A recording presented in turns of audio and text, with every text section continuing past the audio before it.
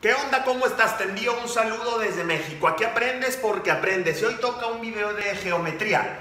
Vamos a obtener el perímetro y el valor de la letra en este triángulo. Tú sabes que un triángulo tiene tres lados y el perímetro es la suma de los lados de una figura. Entonces vamos a comenzar. Perímetro se abrevia con la letra P. Y como te lo acabo de decir, el perímetro es la suma de cada figura. Si un triángulo tiene tres lados, pues se suman sus tres lados. Podemos empezar por el pequeño. Este lado vale 4x.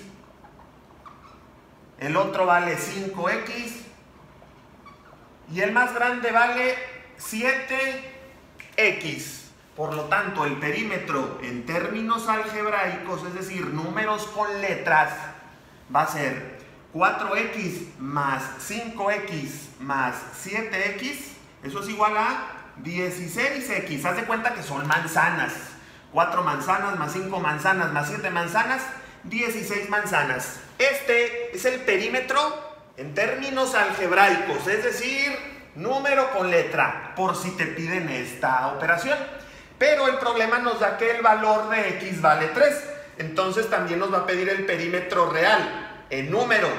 Basta con sustituir en nuestro resultado 16 paréntesis y en vez de la x en paréntesis ponemos lo que vale la x y se va a multiplicar. 16 por 3 vale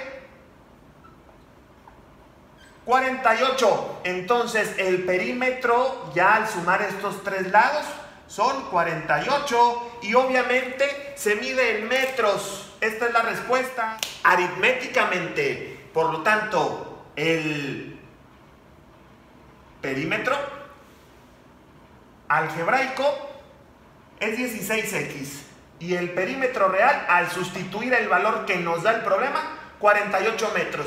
Si te gustó el video, te invito a que te suscribas a este canal de Manual Asesorías, que lo compartas y que le des like.